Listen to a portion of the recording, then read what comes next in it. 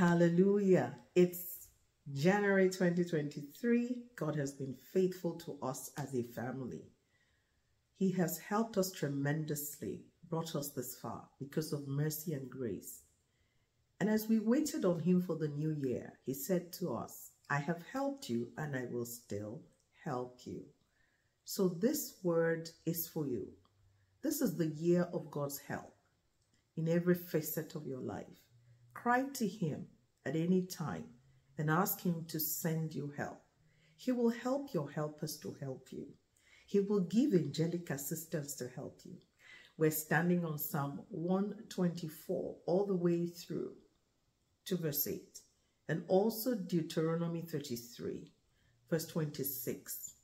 Those two scriptures are anchor scripture for this year. God is with you. You shall never be ashamed. Have an awesome, wonderful, healthy, safe, prosperous, and fruitful year in Jesus' name.